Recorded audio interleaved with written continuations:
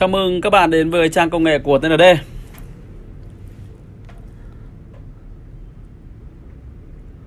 Vâng thưa anh em, đây là một bạn khách mua của mình đó là sản phẩm MacBook Pro 2019 và là phiên bản được đập hộp lần đầu tiên tại thị trường Việt Nam.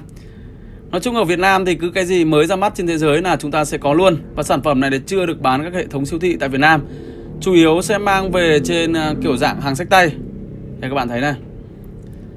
Phiên bản của mình hôm nay đập hộp thì nó phiên bản được trang bị Core i9, RAM 16GB, ổ cứng SD 512GB đang có giá bán tại thời điểm hiện tại đó là gần 70 triệu đồng. Phiên bản của mình là màu gray các bạn nhé. Đây thưa các bạn.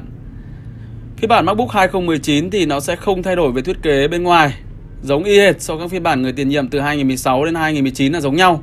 Chỉ được nâng cấp về phần cứng bên trong, đó là lần đầu tiên sử dụng dòng CPU thế hệ thứ 9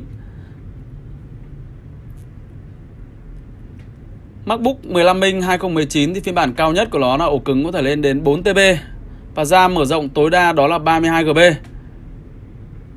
Các bạn thấy là con chip mạnh nhất của nó lên đến tận 8 lõi các bạn ạ. 8 lõi 16 luồng, Core i9.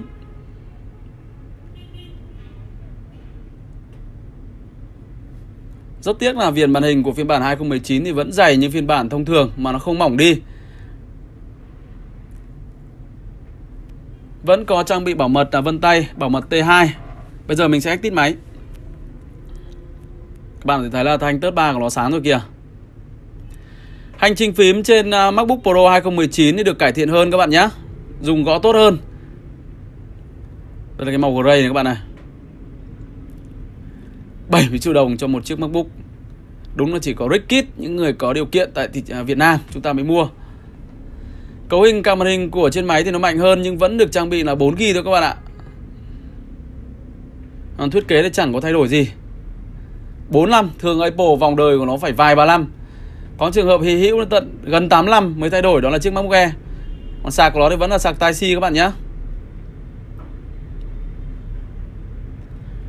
Cổng Thunderbolt 3 vẫn không thay đổi. Thunderbolt 3 thì sẽ hỗ trợ cho các bạn kết nối ra ngoài với tốc độ có thể lên đến 40GB một giây. Và chúng ta có thể cắm thêm eGPU nếu chúng ta muốn tăng tốc cái cạc màn hình. Chúng ta có thể hỗ trợ thêm cạc màn hình GTX hay Quadro thì tùy. để bàn phím của nó này, hành trình bàn phím thì có vẻ như là cao hơn một chút. Các bạn thấy là phiên bản cấu hình của mình lại Core i9 2.3 RAM 16GB.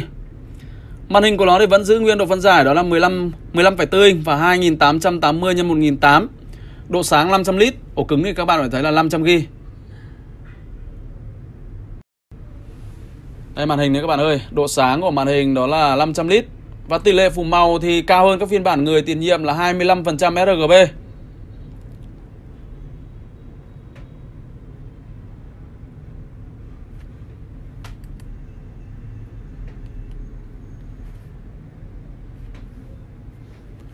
Màu sắc thì các bạn thấy là nói chung là màn của MacBook thì chúng ta có lẽ là không chê vào đâu được.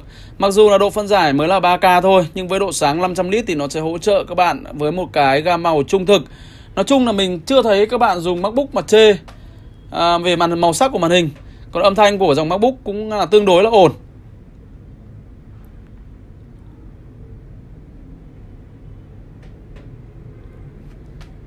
Còn giá bán này các bạn cân nhắc là phiên bản rẻ nhất của nó là 60 triệu cho ổ cứng 256 và phiên bản cao là Core i7 là 256 là khoảng 60 triệu tại thị trường Việt Nam và phiên bản này là Core i9 thì mình đang bán ở mức là 70 triệu.